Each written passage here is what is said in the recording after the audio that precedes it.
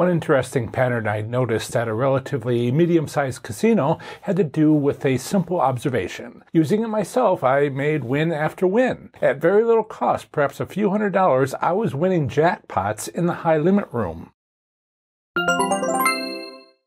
At this local casino, I saw that I would win once when I first sat down, but not win again for some time. You may recognize this as my five spin method. If your casino has this method of winning, although only about one in four do, it's a cheap way to play slot machines and win. If it works, you can play endlessly on different slot machines out on the casino floor. But if it works, Go further. You can optimize your profits by visiting the high limit slots room. The first dozen times I visited my high limit slots area at my local casino, I found it odd that I would win a jackpot during the first few pushes of the button, but then I would spend thousands of dollars without so much as another hit. I don't mean I wouldn't have another jackpot over $1,200, but instead wouldn't win anything whatsoever, and I wouldn't have noticed it if it hadn't seemed so odd. Put another way, it was statistically unlikely to be randomly happening so consistently and often, visit after visit after visit. If you've tried my five spin method and it works at your casino, head on over to the high limit slots room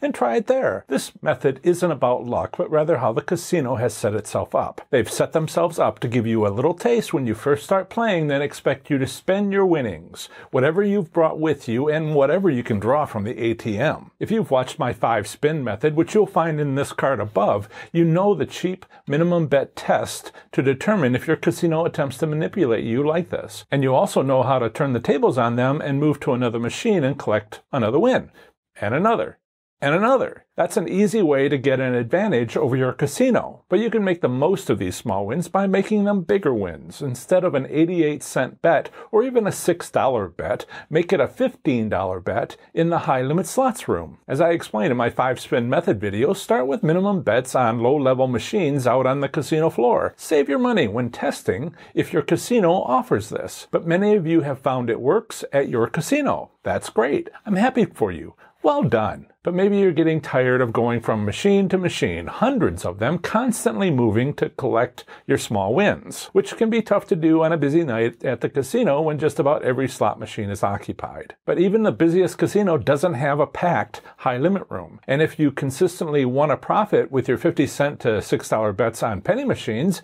it's time to upgrade to three credit bets on a $5 denomination high limit slot machine. Realize that this upgrade is a single step. Make sure you can consistently win at your casino on $5 or $10 denomination slot machines before upgrading further. Think of it as paying your way. You make a profit on lower limit machines to afford to step up to the lowest level denomination high limit slot machines. Once you're confident of consistent profits doing that, yes, there's always $100 denomination slot machines. But remember, take this optimization process step by step to pay your way as you go. And this is how you increase your profits using a working five spin method at your casino. Now, maybe you want to know what's my five spin winning slot strategy. In this video right here, I explain what it is, how to test if your casino has it, plus how to improve your return on low limit slots if your casino has chosen to use it to manipulate you into wasting your bankroll. Instead of falling for it, learn to collect those tastes.